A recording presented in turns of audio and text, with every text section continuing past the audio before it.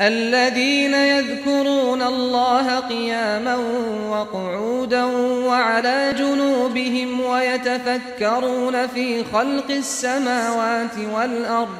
ربنا ما خلقت هذا باطلا سبحانك فقنا عذاب النار. الحمد لله رب العالمين وصلى الله وسلم على نبينا محمد وعلى آله وصحبه أجمعين. أما بعد All praise is due to Allah, the exalted, the majestic. And we ask Allah to exalt the mention and grant peace and send His blessings upon the Prophet Muhammad sallallahu alaihi wasallam. Welcome back, brothers and sisters in faith. Um, today's discussion is a little sad, but it's important. Uh, we will be learning the virtues and the importance of saying La ilaha illallah Muhammadur Rasulullah, or what is known as the Shahadatain or the Shahada, before or upon dying. Yes, uh, many people are under the impression that you only say La ilaha illallah or Ashadu an La ilaha illallah, but as Al Hafidh and other scholars explained, that that is almost like a nickname. When you say uh, the Shahada as a nickname for both expressions, Ashadu an La ilaha illallah wa Ashadu anna Muhammadan abduhu wa rasuluh. Uh, the Prophet ﷺ, as in the hadith of Mu'adh ibn Jabal, said, Whoever their last speech is, There's no deity worthy of worship besides Allah, meaning La ilaha illallah, will enter paradise. But like I told you, the scholars understood from that that the person actually should make the whole expression if he's able to do so. And what a wonderful promise is that.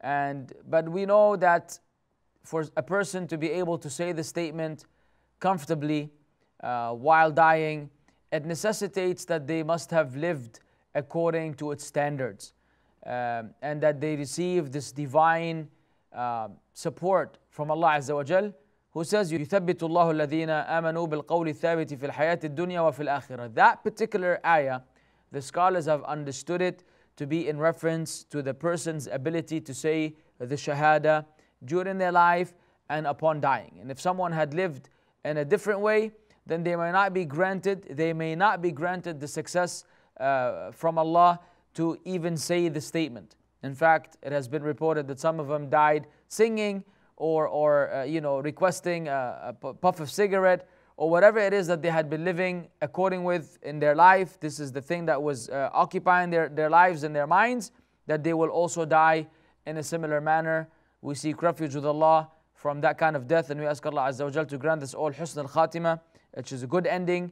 And uh, definitely a good ending is one where a person's last statements of this dunya is saying, Ashhadu an la ilaha illallah wa ashhadu anna Muhammadan abduhu wa rasuluhu sallallahu alayhi wasallam. So uh, this statement then, as uh, Munir and Hafidh and others said, it is actually, uh, terminology wise, it is in reference to both testimonies. And so this is one of the ad'iyah. What is the reward? Then that person will enter paradise. Uh, is there anything better than that?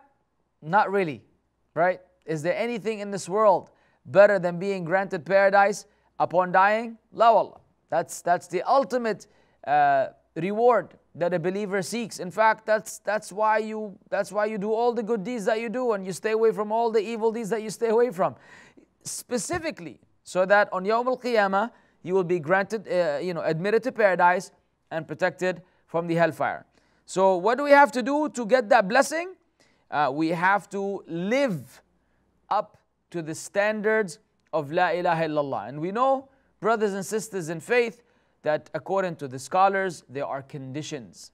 There are conditions of the statement of La ilaha illallah. It is not merely uh, uh, uttering of the words.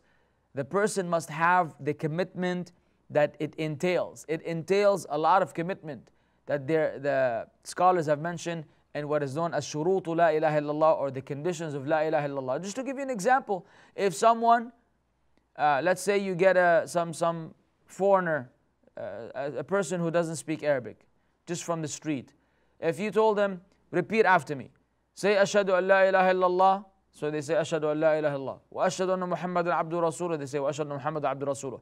Can you say that that person entered into Islam? If you never explain Islam to them, Islam to them if you never told them what that testimony of faith means. Can we say that this person entered into Islam just by merely repeating it, even though they don't understand it? No, it doesn't count. They must, they must acknowledge in their hearts what they're saying with their tongues. Similarly, we must acknowledge in our lives La ilaha illallah so that we will be able to say it upon uh, one's death if one doesn't die suddenly, that is, and is given a chance to make that particular statement, and Allah Azza wa Jal knows best. The second uh, topic that we will discuss in this episode is that that has to do with sneezing and the glad tidings of sneezing. Abu Huraira, may Allah be pleased with him, reported that the Prophet ﷺ said, When one of you sneezes, let them say, Alhamdulillah, or praise is due to Allah. And their brother or sister should respond to them saying, May Allah have mercy on you. Yarhamuk Allah. In which, to which the sneezing person should say, Yahdikumullahu wa yuslihu balakum. May Allah guide you and fix your affairs.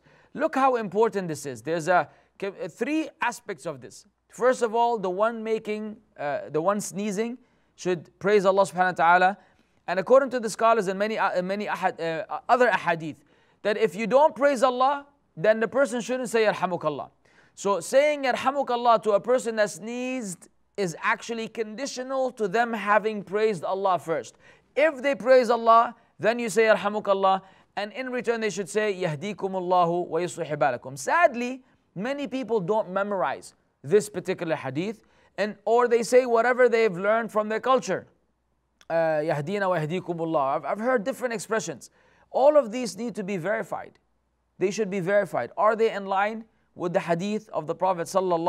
Is there an authentic tradition that actually has a different uh, um, wording, different wording, different verbatim that we can stick to? If not, then we may not just make any dua on our own. We have to adhere to the sunnah of the Prophet. Anyways, the scholars say, why would that happen? Why do you praise Allah? You praise Allah because sneezing is actually among the means for you to avoid sickness.